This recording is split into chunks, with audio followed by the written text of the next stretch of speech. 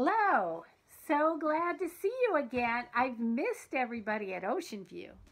And I want to read a chapter book to those of you who like to hear longer stories. Today I'm going to be reading this book. It's called The Best Bad Thing. Isn't that a funny title? Do you think that something bad can turn out to be actually something really good? Right now, we seem to be in kind of a bad time, but maybe there's some things that you're really enjoying about being um, locked in at your house as well.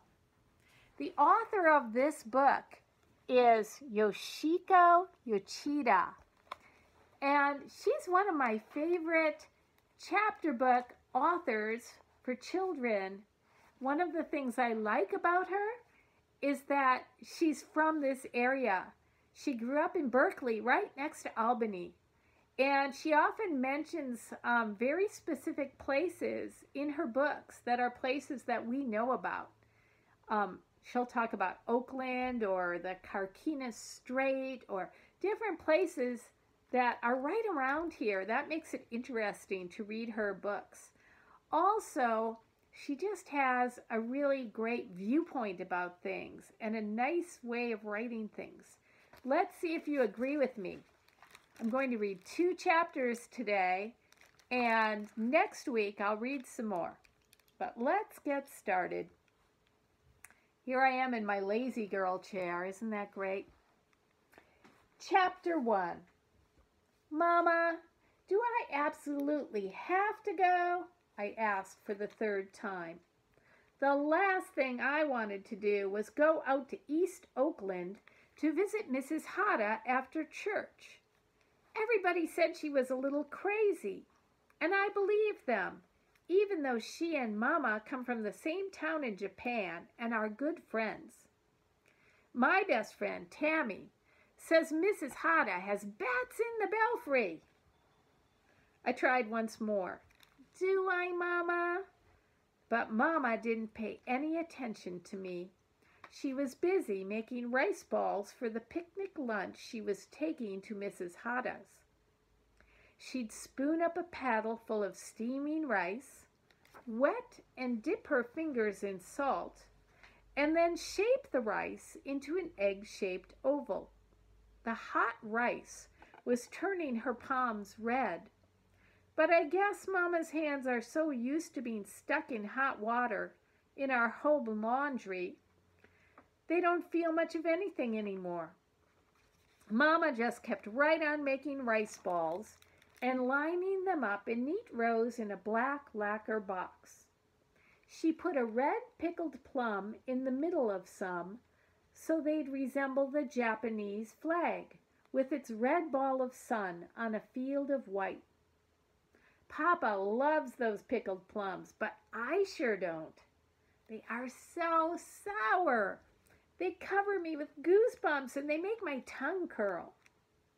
Here, Rinko, Mama said, pushing the lacquer box toward me. Put the sesame seeds on these for me. I started sprinkling the white rice balls with the tiny black seeds, so they looked as though the ants had already got to them. But all the time I was trying to figure out how to get out of going to Mrs. Hata's. Mama didn't seem to realize I had some plans of my own. Suddenly she answered me as though she'd just heard what I'd asked five minutes ago. Of course we have to go, she said. It's the 49th day anniversary of Mr. Hata's death. The way Mama said it, I knew it was an important Japanese custom, and there wasn't much point in arguing but I did anyway. Well, Tammy and I were going to see Tarzan of the Apes at the Lorin this afternoon, I explained, as though it was vitally necessary for us to go. I didn't tell her that I was planning to use the 10 cents she had given me that week for helping her with the laundry. Actually, I'm supposed to put any money I earn in my going to college jar but I thought Mama wouldn't mind if I give myself a treat once in a while. Going to see a movie on a Sunday, however, isn't exactly Mama's idea of a treat. To her, it's more like committing a major sin. For a long time, Mama had all of us believing that Sundays were meant only for going to church and being solemn. And it was only after my big brother Cal went to college that he developed some ideas of his own about Sundays. One day he and Mama had a huge fight about it, and Papa sided with Cal. Times are changing, Mama, Papa told her. This is 1935, and there are worse sins than going to a movie on a Sunday. So Mama finally gave in. That was over a year ago, and ever since, Cal's done pretty much what he wants on Sundays, or any other day for that matter. That means that Joji, who's my younger brother, he's ten and a half and a real pest, well, Joji and I can do more on Sundays too. Except when there's something really important to Mama, like this anniversary of Mr. Hata's death. Cal was lucky. He was up in Alaska working in a salmon cannery for the summer and probably sinning like crazy every Sunday. It wasn't only that I wanted to go to the movies. I really didn't want to make an anniversary of a death call. After all, it wasn't as though you were celebrating something pleasant like a birthday or a wedding anniversary. I wasn't sure how I was supposed to act. Sorry and sad as if you were at a funeral? Or happy that Mr. Hata had been in heaven for 49 days? Or maybe it was like the Obon festival when the spirits of the deceased are supposed to come home for a visit and everybody makes a lot of food to celebrate. Mama can be pretty stubborn when she wants to, but so can I. I wasn't going to give up without a really good try. Tarzan, Tarzan of the Apes will be gone by next Sunday, I said glumly. Mama didn't answer. And if Joji hadn't walked in then and opened his big mouth, my, Mama might have come around, but old Joji spoiled everything. Oh, it sure is going to be fun seeing Zenny and Abu, he said. And before Mama could stop him, he picked up one of her rice balls and he popped the whole thing in his mouth. Joji loves to eat and stuffs himself at every opportunity. I could have wrung his neck for looking so happy about going to the Hatas. I could tell that Mama was about to say, Well, look at Joji. He doesn't mind going to visit Mrs. Hata. He's not complaining. Actually, Joji had no reason to complain because he would have a good time with Mrs. Hata's two boys, Zenny and Abu. They'd go walk on the railroad tracks, or maybe even hitch a ride if there were any freight cars coming down the feeder line. Zenny was about the same age as my brother, but Abu was two years younger, and Joji loved having somebody he could boss around for a change. I gave my brother a dirty look. Mama and I were having a serious discussion here, I informed him. But Mama said there was nothing more to be discussed. At that point, Joji suddenly hollered, Yay! And he ran from the kitchen, choking and coughing. I knew he'd just bitten into one of those sour pickled plums, and I couldn't help laughing. Ha! Serves you right, Joji! I yelled. I was mad at him because I knew I'd lost the argument with Mama. I knew when to give up. I brushed the sesame seeds from my hands and I marched into the hallway. I closed all four doors leading to it so I'd have some privacy. And I called my friend Tammy, even though I'd be seeing her in another hour at Sunday school. Listen, I can't go to the movies with you today, I said explaining what I had to do instead. Ah, shucks, Tammy sounded disappointed. Well, I guess I'll have to find somebody else to go with that. What? You mean you'd go anyway? Without me? Well, it is the last Sunday. Somehow I'd expected my best friend to be willing to suffer with me. I mean, what's a best friend for if you can't count on her to suffer along with you when you've got to suffer? I was thinking about the time she was home with chicken pox, and I stayed home from the church picnic to keep her company since I'd already had the chicken pox. And that's what I call being a true friend. I at least expected Tammy to say she'd go with me to Mrs. Hata's to keep me company, but she didn't. She can be mean and selfish sometimes. And even if she is my best friend, there are times when I definitely do not like her. Also, it doesn't help that she can do almost everything better than I can.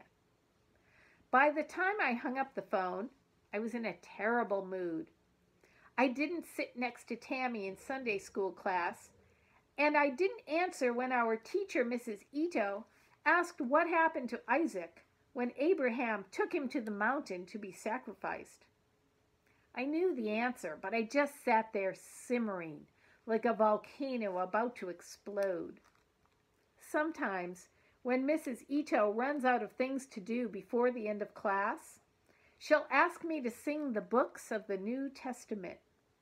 This is somebody nobody else in class, or maybe even in the whole church, can do. I learned it from an old minister from Japan who came over once for Sunday dinner. He began with Matthew and kept right on singing until he got to Revelation. It was the funniest thing I ever heard, and when I got over laughing, I asked him to teach it to me, even though it took all afternoon.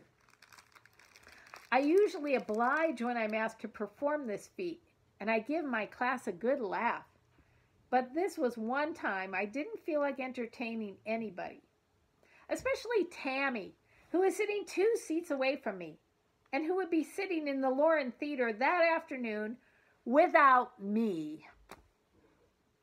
As soon as church was over, we piled into Papa's Model T and headed for East Oakland. Joji always sits up front with Papa so he can watch him drive. And I know very well that one of these days he's going to try driving when Papa isn't around. He's always hanging around Papa's repair shop in our garage, watching Papa fix up somebody's car. As a matter of fact, I'm waiting for a chance to drive Papa's car myself. After all, Cal learned when he was 12 and I'm almost that right now. The closer we got to East Oakland, the faster Papa drove. Mama was so nervous she kept grabbing my arm and calling out, We have plenty of time, Papa. What are you rushing for? But I was glad Papa was going fast. I was starving and could hardly wait to eat Mama's rice balls and chicken. Papa went even faster after we were past 68th Avenue. There weren't many houses out there, and the ones we passed looked like lonely sentinels standing in wide, weed filled fields. The weeds were dry and strawberry colored and sort of shimmered in the sun. They looked like fields of golden grain. Not that I've actually ever seen any not having been outside the state of California. I just thought that that's how amber waves of grain must look. I was getting over my black sulk now and began to sing, Oh, beautiful for spacious skies, for amber waves of weeds. I was waiting for Joji to whirl around and say, That's grain, not weeds. But he didn't, because Papa was bouncing the car over the railroad tracks and calling out, Well, here we are. The Hata family lived in a tall, dilapidated two story wooden house with most of its paint peeled off.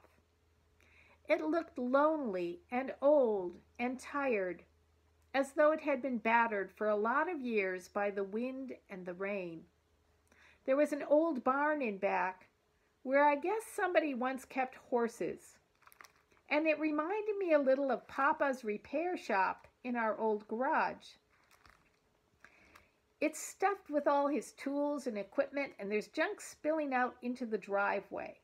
Well, the barn had the same shabby look as Mrs. Hata's house, and I thought a good strong wind could blow them both over. Beyond the barn were the open fields where Mr. Hata grew cucumbers every summer to sell at the nearby factory. The rest of the year, he used to do odd jobs or garden work for the rich white folks in Oakland. When we drove up, I could see Mrs. Hata and the two boys working out in the cucumber fields, even though it was Sunday.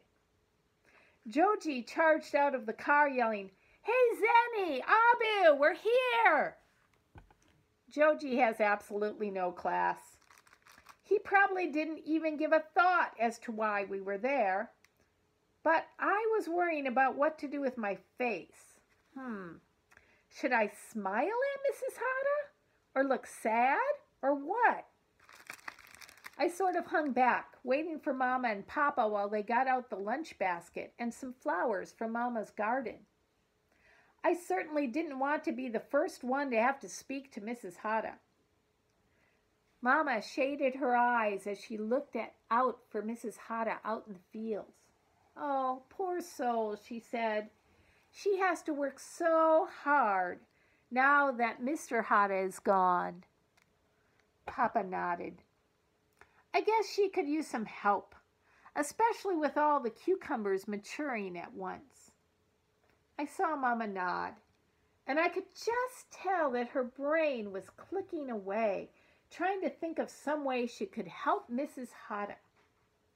Mama can't stand seeing someone in need of help without doing something about it. Our neighbor, Mrs. Sugarman, says Mama is a combination of pure mercy and moxie. I just bet Mama wants to come help Mrs. Hata, I thought to myself. I just bet she might come out and stay a while to get Mrs. Hata safely through the growing season. That would leave me in charge at home to take care of Papa and Joji and to run Mama's home laundry. And I began wondering if I could do all that by myself. Of course, I knew how to run the old washing machine Papa fixed up for Mama. And in between fixing cars, Papa could help me with the rinsing. That's the hard part, rinsing those big sheets by hand. I'd get Joji to help hang the wash, and he could feed the chickens and collect the eggs for me. He was old enough now, so he knew about hens and their eggs. When he was little and saw there were no eggs, he'd say, I guess the hen's empty now, as though it kept a lot of eggs inside and let one out each day until they were all gone. I was so busy thinking about how I'd take over at home that I completely forgot about what to do with my face. And suddenly, there I was, right in front of Mrs. Hata. She was wearing a pair of baggy pants and one of Mr. Hata's old shirts, and she had a wide straw hat tied on her head to keep the sun off her face. She also had a hot water bottle tied on her back with a long piece of cloth. I guess her back was aching from all that work she had to do in the fields. Oh, hello, Rinko, she said. How nice to see you. I put out my hand, all solemn and serious. But instead of shaking it in the way I expected her to, Mrs. Hata stuck a cucumber in it. Here, she said, you can have that one. I was so surprised I burst out laughing, and Mrs. Hata laughed with me. I was surprised she'd be so cheerful when she had so much to be miserable about. After all, her husband had just died, and she had to be out picking cucumbers on a Sunday afternoon with an aching back. But that was only the first surprise. The second big surprise of the day came after we got home. Well, that's the end of chapter one. I know I said I would read you two chapters today, but it took me a little longer to read that than I thought it would. So I'm going to save the second chapter for next time. And you can guess what you think the surprise will be when she gets back home. We'll see next time. Until then, take care and stay safe. Bye.